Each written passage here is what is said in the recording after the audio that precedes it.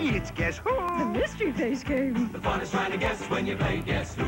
Is your person bald? Yes. A very good question. Does your person have a beard? Uh-huh. An excellent clue. The fun is trying to guess when you play Guess Who. Do you wear glasses? Yep. Uh-oh. That means it's not you. Hold on. Or you. Bye-bye. Or you. Toodaloo. I guess you're tough. You win. Let's play again. The fun is trying to guess when you play Guess Who. Game cards do not actually talk.